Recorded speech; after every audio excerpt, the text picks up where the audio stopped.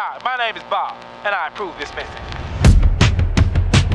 I got the magic in me.